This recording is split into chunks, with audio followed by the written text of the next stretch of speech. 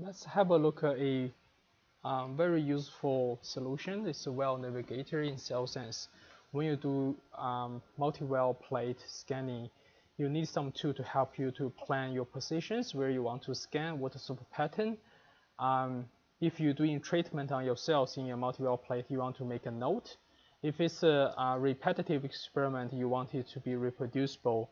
This is where the multi-well navigator can help you. So you can pull out the multi uh, or the well navigator um, two window directly from the two windows tool here. Just click it and it will be pop up like this. If you add on a new one, start a new well plate, um, just asking you all the existing position will be lost. That's fine. You just click yes. They give you the option for standard wells or you can do customized wells. So for example, if you have a 24 well standard, it's just going to be uh, predefined rows and columns and just click create. At this stage, um, it's a step-by-step -step instruction how you can verify the positions. They ask you to move the stage to a position it's a, um, at this little shining dot here representing for the first well and uh, you use a three point to lock in the position for the first one and next will stage move to A6 asks you to verify the A6 position and then move to D6 after you finish all those steps uh, the software will be establish the uh, position of your multi-well and register at the at the template there. So I just click cancel here. Uh, alternatively if you the you pretty much only need to do this step once. Once you get that one done, you can just load your well plate. Um, if you have existing one, for example, I have existing 24 well, I just load it. Once I loaded it, you can see this position just pop up like that. And then you can use the first like a, a target tool um, to go to any of the wells you want to go to. If you click on it, you can see the stage is actually moving to the uh, desired well you can ver verify it just by looking at it. Uh, once you get this step done, next step will be um, uh, plan some scanning patterns in each of the well. So open this one. They can ask you to scan or acquire image for single frames or, or multiple image alignments.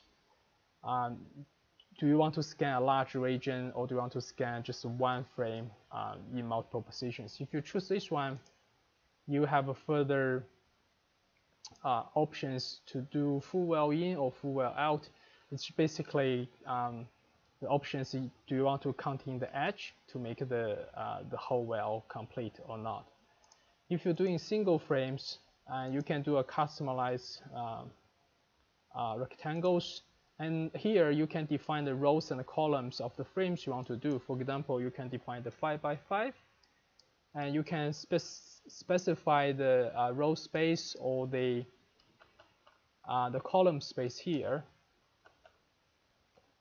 Once you get this one done, click OK, and you can use this tool to apply your pattern to a particular well. For example, for those three wells.